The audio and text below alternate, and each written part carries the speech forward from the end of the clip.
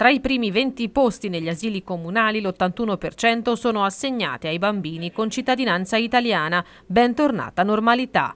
Questo recitava il post della discordia pubblicato dall'assessore alla scuola del comune di Arezzo Lucia Tanti che aveva scatenato un vero polverone politico.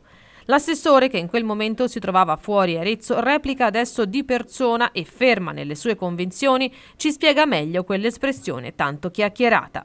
No, non ci sono particolari sconvolgimenti, c'è un rafforzamento di quella che io chiamo normalità, che credo che sia un termine ancora che si possa usare, e cioè che quando c'è uno specchio che ritorna, cioè se rispetta una presenza di un 11% di immigrati e quindi di un 89% di non immigrati, i servizi fondamentalmente rispecchiano questo dato, siamo in una situazione di normalità. Non è normale una situazione in cui esempio, eh, su 10 persone presenti, di cui 7 immigrati e 3 non immigrati, i servizi vanno a 7 immigrati e a 3 non immigrati. Questo è un dato sperequato, non so se sperequato è una parola politicamente corretta, ma una parola colta che si può usare.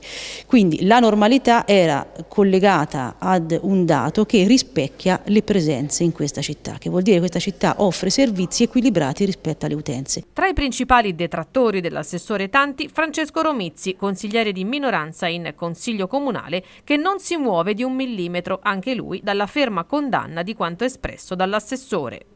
Le dichiarazioni di tanti sono una via di mezzo tra la demagogia populista e eh, diciamo, un approccio eh, reazionario di un assessore di parte, per due motivi. Primo perché ho fatto un'analisi e vi posso assicurare che non c'è nessuna variazione di presenza di stranieri nel, nelle nostre scuole dell'infanzia. Ci attestiamo sempre intorno al 14%, nel 2013 erano il 14,07%, nel 2015 il 14,3%, quindi di fatto lo specchio della società, gli stranieri ad Arezzo sono il 15% e 14 vanno nei nostri asili. Questo è il primo dato di fatto, demagogia. Dall'altro lato un assessore alle politiche sociali che rappresenta quindi tutta la città non può dire bentornata normalità quando nei primi 20 abbiamo meno stranieri. Ecco, la normalità di, un, di, un, un'amministrazione pubblica democratica è quella di rappresentare tutta la città e non solo un pezzettino o comunque la pancia diciamo, del più basso leghismo presente in città. Eh, su questo faremo un'interrogazione alla Tanti e no, no, no, non escludo eh, che la forza politica che in qualche modo rappresenta un Consiglio Comunale possa fare anche delle iniziative pubbliche su, questo, su questa tematica.